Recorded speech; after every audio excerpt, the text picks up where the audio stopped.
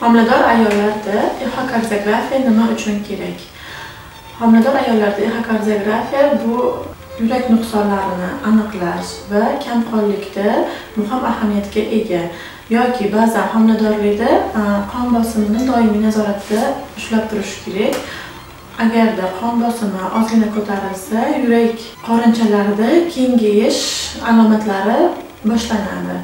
Agar buni exokardiografiyada erta aniqlansa davolash uslubi shunga qarab erta qilinadi. Ba'zan ayollar homilador bo'lgunga qadar exokardiografiya tekshiruvidan o'tishmaydi.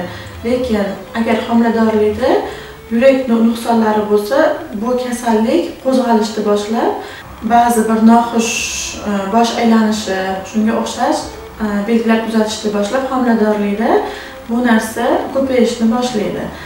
Va exokardiografiya tekshiruvida biz buni aniqlashimiz mumkin. Bunda biz yurak nuqsonlarini klapanlar holati yurakni fraksiya holati va kengaygan kengaymaganligi devorlarini qalinlashgan qalinlashmaganligini